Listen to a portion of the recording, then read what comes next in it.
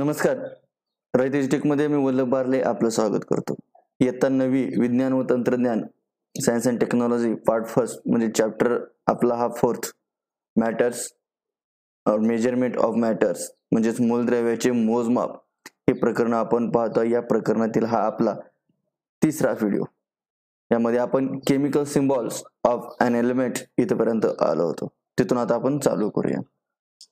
Dalton used a certain sign to represent elements. For example, dots for hydrogen, C for copper. Today, we use the symbol determined by IUPAC. It's means International Union of Pure and Applied Chemistry. These are officials name and the symbol are given used all over the world. The current method of choosing chemical symbol is based on the method invented in Berzelius. According to this method, the symbol of an element is the either the first letter or first and second or another specific letter in its name. Of the two letters, the first is written as capital letter and the second be small. म्हणजे आता या ठिकाणी हे जे काही मूलद्रव्य वगैरे आहेत ह्यांची जी काही आपण नामकरण करतो. ह्यांना जे काही विशिष्ट असं प्रकारचं जे काही नाव दिलं जातं यांना आपण ज्या पद्धतीने डाल्टनने मूलद्रव्याची संज्ञा देण्यासाठी विशिष्ट अशा चिन्हाचा वापर केला होता. जसे की त्या डाल्टननी हायड्रोजनसाठी हा सिम्बॉल त्यांनी यूज केला होता. याचबरोबर तांब्यासाठी त्यांनी हा सिम्बॉल त्यांनी यूज केला होता. परंतु आज आजच्या ठिकाणी आपण या I U P S C म्हणजे international union of pure applied pure and applied chemistry ने ठरवलेल्या हा विशिष्ट संज्ञा जो वापरल्या जातात ही अधिकृत नावे असतात. आणि नावे याचबरोबर संज्ञा ह्या जगभरात त्याच नावाने त्याच संज्ञेनं ह्या पदार्थांना या मूलद्रव्यांना ओळखलं जातं. सध्याची ही रासायनिक संज्ञा पद्धती ही बर्जिलियसने शोधलेल्या पद्धतीवरती आधारित आहे. यानुसार मूलद्रव्याची संज्ञा ही त्याच्या नावातलं पहिलं अक्षर किंवा पहिले आणि दुसरे किंवा इतर जे अशा विशिष्ट प्रकारची अक्षर असतात ती वापरली जातात. दोन अक्षरापैकी पहिले अक्षर हे इंग्रजीत मोठ्या लिपीत असते तर दुसरे अक्षर हे लहान लिपीमध्ये लिहिले जाते. अशी हा पद्धत आहे आय यू पी एस सीचा किंवा या पद्धती या नियमानुसार लिहिले जाते. Molecule of an element and compound atom of a some element such as helium neon have independent existence it's mean that these elements are in a mono atomic molecular state sometimes two or more atom of an element combine to form molecule of that element. म्हणजे हे जे काही काही मूलद्रव्य असतात म्हणजे यातील जे काही काही मूलद्रव्याच्या अणुना स्वतंत्र असं अस्तित्व असतं. उदाहरणार्थ हेलियम न्यूऑन म्हणजे ही जी काही राजवायू आहेत ही मूलद्रव्ये एक अणु रेणू या अवस्थेमध्ये असतात. तर काही वेळा या मूलद्रव्याच्या दोन किंवा अधिक अणुच्या संयोगातून त्या मूलद्रव्याचे रेणू तयार झालेले असतात.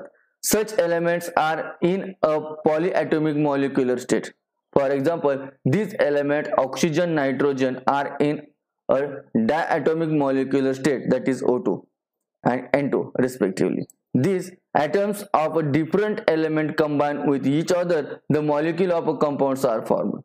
In this word, a compound are formed by a chemical attraction between different elements.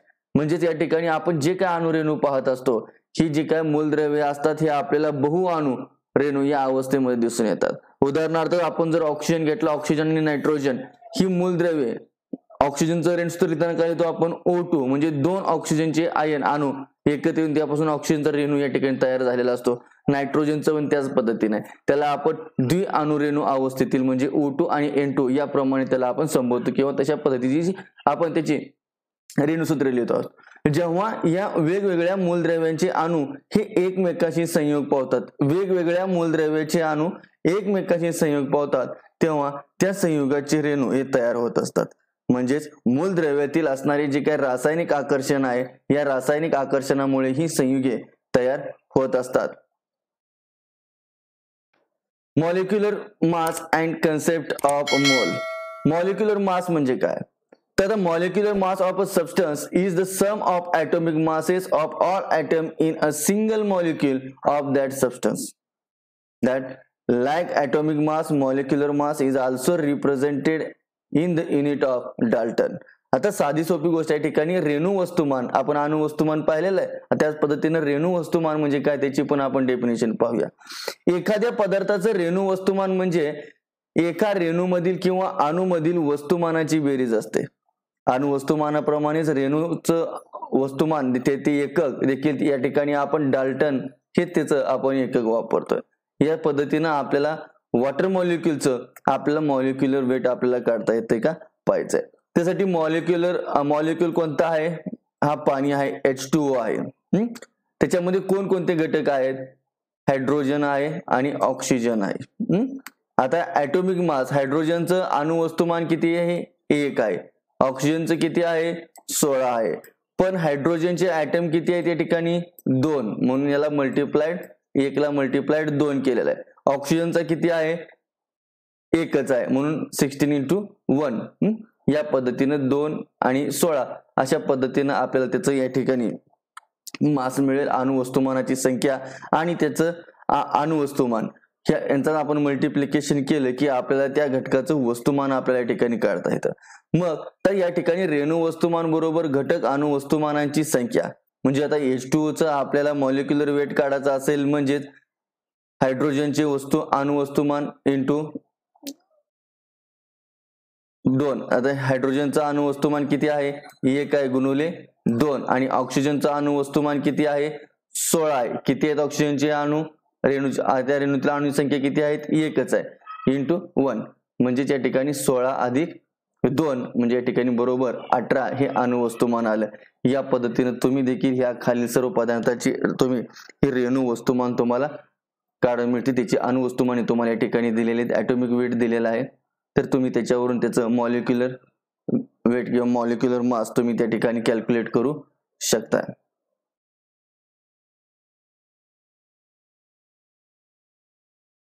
When element and compound take part in chemical reaction, is their atoms and molecular that react with each other? And therefore it is necessary to know the number of their atoms and molecule. However, while carrying out a chemical reaction, it is a convenient to measure out a quantity that can be handled instead of continuing the number of atoms and molecules. The concept of a mole is useful for this purpose आता या पद्धतीने आपण ज्यावेळेस मूलद्रव्य आणि काही संयोगी असतात त्यांची रासायनिक अभिक्रियामध्ये हे जेव्हा भाग येत असतात तेव्हा त्यांचे अणु आणि रेणू यांची अभिक्रिया होत असते. आता ह्या अणुरेणूची आपल्याला माहिती असणं आवश्यक असतं मात्र काही रासायनिक अभिक्रिया करताना अणुरेणू मोजण्यापेक्षा हाताळता येतील अशी राशी घेणं किंवा अशा पद्धतीचं मोजमाप असणं हे खूप उपयुक्त ठरतं. तर यासाठी मोल या संकल्पनेचा उपयोग होत असतो. आता मोल म्हणजे काय? A mole is the quantity of a substance whose mass in a gram is equal to in a magnitude of a molecular mass of that substances in Dalton म्हणजेच मोल ही असा पदार्थ आहे की मोल ही पदार्थाची अशी राशी असते की जिचे ग्रॅम मधील वस्तुमान त्या पदार्थाच्या रेणू वस्तुमानाच्या डाल्टन मधील मूल्य एवढं असतं. म्हणजे आता फॉर एक्झाम्पल पाहायचं झालं तर the molecular mass of oxygen is thirty two Dalton and therefore thirty two gram oxygen is one mole of oxygen the molecular mass of the water is the eighteen Dalton therefore eighteen gram of the water make one mole of water म्हणजे ज्यामध्ये आपल्याला हे डाल्टनचं आता ऑक्सिजनच्या संदर्भामध्ये जर त्याचं रेणू वस्तुमान बघायचं झालं तर हे रेणू वस्तुमान आता आपण पाहिलं किती किती येते? बत्तीस येत. आहे ओके? आता ऑक्सिजन म्हणजे ओ टू बत्तीस का आलं तरी ऑक्सिजनचा अनुअंक आहे आपलं सोळा आहे. ओ टू आहे म्हणजे सोळा गुणले दोन बत्तीस झालं. म्हणजे ह्या ऑक्सिजनचं रेणू वस्तुमान किती आलं? बत्तीस आलं. आता बत्तीस ग्रॅम ऑक्सिजन म्हणजे एक मोल ऑक्सिजन आहे. हा? बत्तीस ग्रॅम ऑक्सिजन म्हणजे एक मोल वस्तुमान आहे. आणि पाण्याचं वस्तुमान बघितलं तर रेणू वस्तुमान बघितले आपण मॉलिक्युलर वेट किती येते अठरा येते म्हणजेच यामुळं अठरा ग्रॅम पाणी म्हणजेच एक मोल पाणी होय. म्हणजे ह्यासाठी ही संकल्पना ही मोल ही संकल्पना वापरली गेली. आता संयुगाचा एक मोल म्हणजे त्या संयुगाच्या रेणू वस्तुमाना एवढे मूल्य असलेल्या ग्रॅम मधील वस्तुमान होय. मोल हे एक एसा एकक आहे. आता मोलचं जर आपल्याला डिफाईन करायचं असेल one mole of compound is the mass of the that substance in a gram equal to in magnitude to a molecular mass that is the S I unit is a mole therefore a number of a mole of a substance is equal to mass of a substance in gram divided by molecular mass of that substance मग हिचे molecular काढण्याचा आणखी मोल काढण्या calculate करण्याचे आपल्याला या ठिकाणी ॲव्हॅगॅड्रो या नंबर्स असं त्याला म्हटलं जातं. The numbers of a molecule in one mole of any substance is constant the Italian scientist Avogadro did fundamental work in his context Therefore, this number is the called as Avogadro number and is denoted by the symbol capital N on base capital A. Let us scientists demonstrated experimentally that the value of Avogadro number is hmm?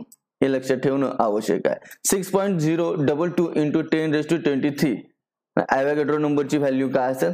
तर ही आहे. तर a mole of any any substance stand for six point zero double two into ten raise to twenty three moles just a dozens has twelve item a century has hundred and a gross has one hundred and forty four it's means and into मोल raised six point twenty two ten raise to twenty three For example, a mole of the water that is the 18 gram of a water contain 6.0 double two into ten raise to twenty three a molecule of water ज्या पद्धतीनं आपण काही एकक निश्चित केलेली असतात त्याची कोणत्याही पदार्थाचं एक मोल राशीमधील ही जी काही रेणूची संख्या असते निश्चित असते.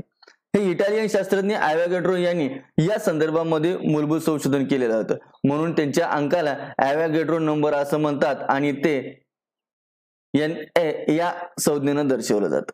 आता यांनी परत असे अनेक प्रयोग करून असं त्यांनी दाखवून दिलं की ॲव्हॅगेड्रो अंकाचं हे मूल्य सहा पॉईंट शून्य बावीस गुणवले दहाचा तेवीसावा घात हे इतकं आहे. कोणत्याही पदार्थाचा मोल म्हणजे सहा पॉईंट शून्य बावीस गुणवले दहाचा तेवीसावा रेणू जसं एक डझनमध्ये बारा असतात एक शतकमध्ये शंभर असतं. एक ग्रोस मध्ये म्हणजेच एकशे चव्वेचाळीस असतात आणि एक मोल म्हणजेच आता आपण समजायचं सहा पॉईंट झिरो बावीस गुणुले दहाचा तेवीसा भागात.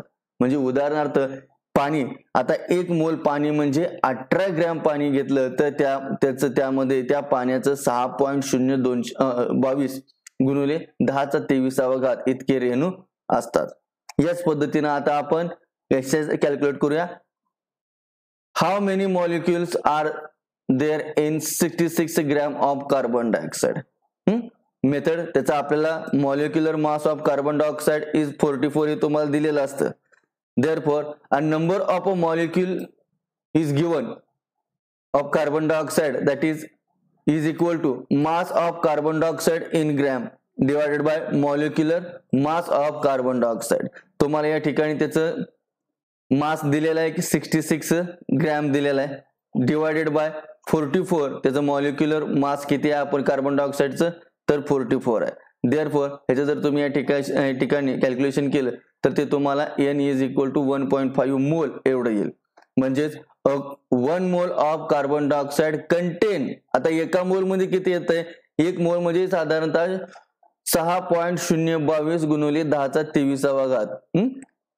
हा म्हणजेच एक मोल. म्हणजे त्या ठिकाणी एक पॉईंट पाच मोल कार्बन डायऑक्साईड आता शून्य पॉईंट पाचचा डिफरन्स पडतोय. तर ते काढण्यासाठी आपल्याला वन पॉईंट फाईव्ह इंटू आपल्याला हे गुणाकार करायचं. Six point zero double two into ten raise to twenty three molecule therefore we will get nine point zero double three into ten raise to twenty three molecules म्हणजे एवढे कार्बनचे या carbon डायऑक्साईडचे molecules त्याच्यामध्ये असतील. म्हणजे आपल्याला सर्वसाधारणपणे जर तुम्हाला उदाहरण दिलं तर की कार्बन डायऑक्साईडमध्ये किती रेणू असतात त्याचं तुम्हाला ग्रॅममध्ये दिलेलं असेल.